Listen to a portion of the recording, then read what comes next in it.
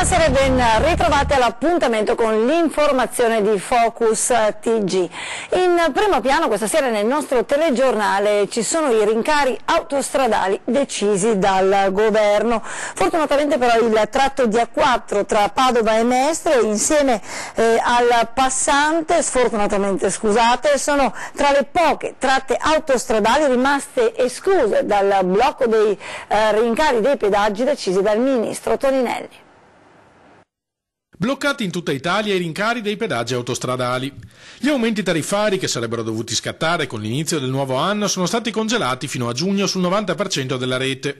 Restano invariati i costi in tutti i caselli del tratto di A4 gestito da Autovie Venete da Venezia a Trieste, nonostante la richiesta di un aumento dell'1,48% presentata dalla società al ministro dei trasporti Danilo Toninelli che l'ha rispedita al mittente.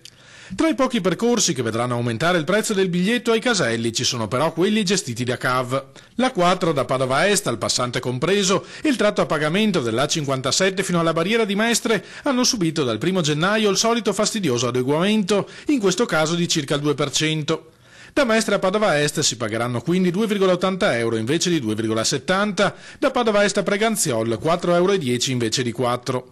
Cifre previste da tempo, spiega il governatore Luca Zaia, per ammortizzare il costo di realizzazione del passante inaugurato nel 2009. Ricordo che ci sono volute risorse per realizzare quell'infrastruttura, la stiamo pagando e tutti gli utili che da CAV, a differenza degli utili delle altre autostrade, vengono reinvestiti in Veneto, quindi non è una, una perdita. Eh, purtroppo funziona così che le opere vanno pagate eh, e poi ovviamente gli utili, e CAV sta iniziando a fare utili, vanno poi reinvestiti nel territorio. Una vera e propria ondata di gelo, quella in arrivo anche sul Veneto eh, e anche nella Marca Trevigiana. Per far fronte proprio al eh, gelo in arrivo il Comune di Treviso ha previsto alcuni posti letto da destinare senza tetto. La Marca nella morsa del gelo, sono in arrivo temperature glaciali, aperta l'ex caserma Serena e senza tetto. Il Comune ha trovato grazie alla disponibilità della Prefettura di Treviso la possibilità di 20 posti letto all'ex caserma per dare un riparo a chi vive per strada. Il sindaco Mario Conte, l'assessore al sociale e alla famiglia Gloria Tessarolo hanno ritenuto opportuno predisporre misure emergenziali per garantire la protezione delle persone in difficoltà. L'intesa con Nova Facility, l'azienda che gestisce la struttura, assicurerà inoltre un pasto caldo a chi altrimenti si troverebbe ad affrontare temperature sotto lo zero all'aria aperta. I 20 posti letto si aggiungono così ai 26 degli asili notturni di via Pasubio e via Risorgimento, oltre al servizio di accoglienza della Caritas Tarvisina. A Treviso nessuno deve dormire in stazione né in mezzo alla strada, ha detto il sindaco Mario Conte, quindi abbiamo trovato, grazie anche alla prefettura, questa soluzione tempestiva per l'ondata di freddo particolarmente sferzante. Gli asili notturni saranno attivi già da questa notte per offrire un riparo a chi non ha dimora.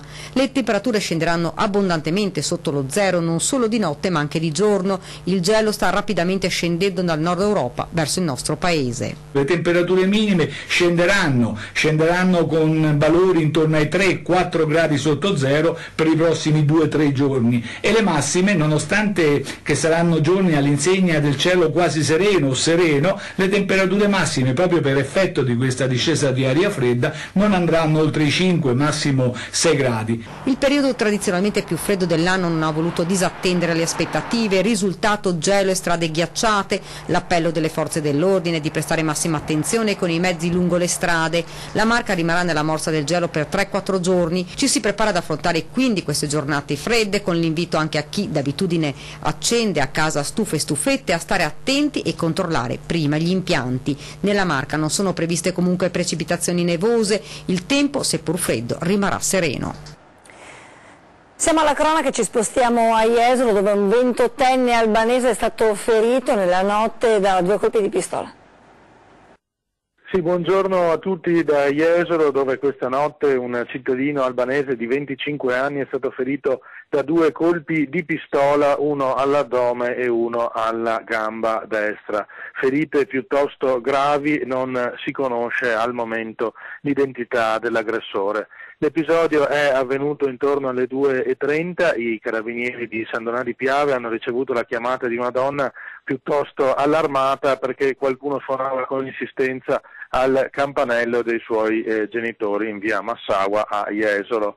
Questo qualcuno era proprio questo ragazzo ferito che chiedeva aiuto e sanguinava copiosamente da queste due eh, lacerazioni. I carabinieri hanno allertato anche il 118 che si è precipitato sul posto e il 25enne è stato trasportato d'urgenza all'ospedale di eh, San Donà dove è stato sottoposto a un delicato intervento chirurgico e le sue condizioni tuttora sono ancora piuttosto gravi. I militari sono in cerca di testimoni per risalire al responsabile di questo crimine. Ulteriori aggiornamenti nelle prossime edizioni dei nostri telegiornali. Ancora cronaca, questa volta da Castelfranco Veneto, un incendio scompiato all'interno di un deposito di pneumatici, scongiurato il rischio ambientale, sono state distrutte però anche alcune auto d'epoca. Sono il primo che ha aperto questa mattina perché questa mattina, questa mattina dovevamo fare l'inventario perché eravamo anche chiusi per l'inventario, sono entrato ma... Ritorno al lavoro provvidenziale questa mattina a Salvarosa di Castelfranco per l'intera struttura dell'ex concessionaria Martinello di Via Staizza. L'allarme immediato ha scongiurato ben più pesanti conseguenze del rogo. Purtroppo dopo sono dovuto uscire subito perché c'era, del fumo. In giro di 5 secondi sono uscito perché non respiravo più e ho dovuto uscire. Immediata la colonna di fumo nero che si è innalzata sopra l'area industriale per poi spostarsi verso il centro di Castelfranco.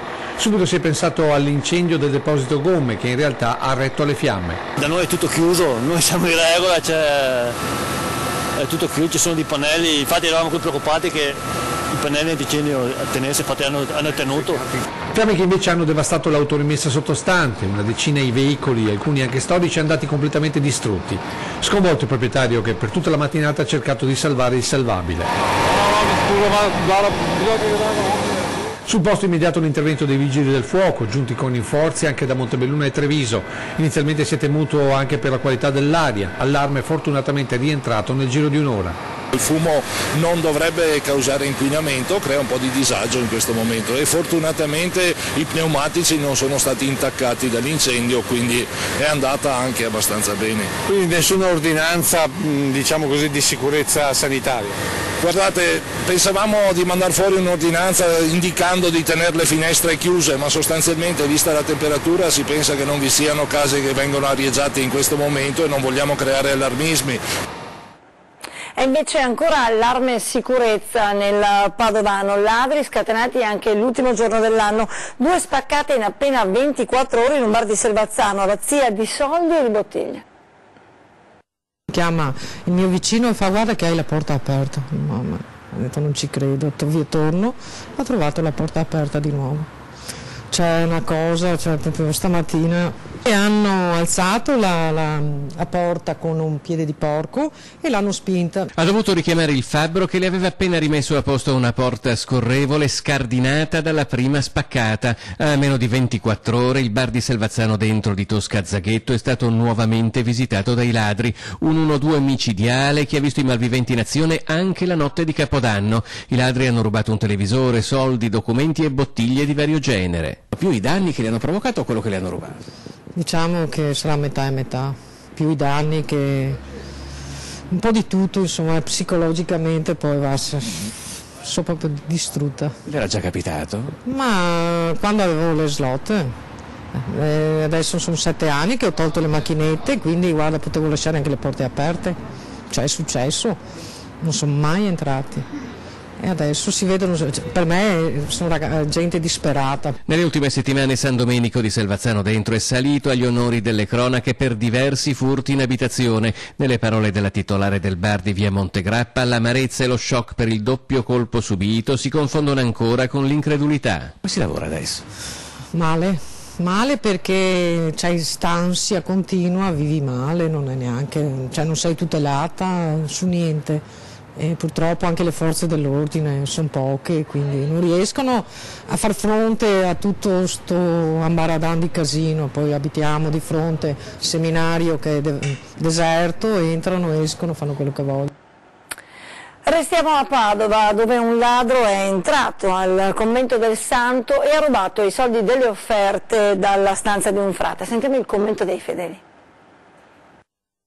È una, una vergognosa andare anche nei centri nelle chiese andare a rubare. Mille euro spariti dal cassetto della camera da letto. Ormai, senza più limiti, i ladri hanno rubato anche le offerte del santo, addirittura quelle conservate nella stanza di uno dei frati della basilica. Il furto sarebbe avvenuto in pieno giorno, bottino circa mille euro. Il ladro sarebbe riuscito a entrare nel convento del santo, a intrufolarsi nella stanza di un frate che aveva nascosto una busta con le offerte nell'armadio. Fa un brutto effetto, perché se è dovuto alla povertà è un discorso, ma se è dovuto solo a un atto vandalico è, è peggio. Offerte che dovrebbero andare alla gente che ha bisogno. Non è una, un'azione che si possa provare, anzi, però insomma il ladro non guarda al sacro o al profano, il ladro è ladro. Non è bello, non è cosa bella fare un furto dentro una chiesa, questo è chiaro. È stupito lei? Certo, sono stupito, mi dispiace tantissimo. Mi fa male al cuore a sentire certe cose che... Non l'ammetto proprio, eh. bisogna punire questa gente immediatamente. Ci stanno le telecamere e puniamo a sta gente perché è un fatto brutto. Chi fa questi errori deve essere puniti. Non c'è politica che tiena. Alla polizia, che indaga sull'episodio, i frati avrebbero raccontato di aver visto un giovane estraneo nella zona tra il convento e la basilica e di averlo allontanato. Ora saranno analizzate le immagini delle molte telecamere che vigilano sulla basilica, ma non sarà un compito facile per il gran numero di persone che frequentano in questi giorni di festa il santo. Ci lasciamo solo pochi istanti e torniamo tra pochissimo con tutte le altre notizie della regione.